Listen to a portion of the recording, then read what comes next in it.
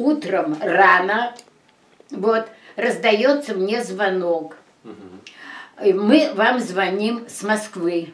Вы должны срочно поехать, сказал о, какой банк, на Горького, за вами подойдет такси, но вы должны там снять свои деньги. Под, подъехало такси ко мне, я села в такси и приехала в банк.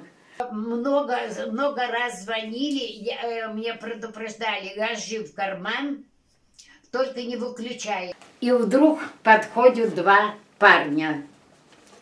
Подходят два парня, значит, и вот ходят вокруг меня, ходят, и вот этот молодой, который дал мне это самое свой, и вот так вот показывают, что они с милицией хочу высказать большую благодарность сотрудникам полиции, что они так внимательно относят пожилым людям. Какая им благодарность за все, что они спасают нас, стариков, от таких вот хулиганов, от таких бед.